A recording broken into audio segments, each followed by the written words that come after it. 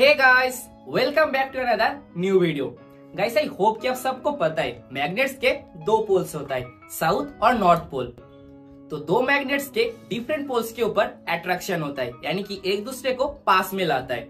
वो ही same poles के ऊपर रिपल्शन होता है, यानी कि एक दूसरे को दूर भेज देता है, जिसको मैग्नेटिक लेविटेशन सिस्टम बोला जाता है. और आज मेरे पास एक ऐसा साइंस प्रोजेक्ट किट है जिसको इसी टेक्नोलॉजी को यूज़ करके बनाया गया है। तो वीडियो काफ़ी इंटरेस्टिंग होने वाला है। लेकिन वीडियो स्टार्ट करने से पहले मैं आपको बता देता हूँ, मेरा नाम देव है और चैनल का नाम है मिस्टर टॉपर और ऐसे वीडियोस में बनाते रहता हूँ। तो वीडियो देखने के बाद अगर वीडियो को पसंद आए तो एक लाइक कर देना।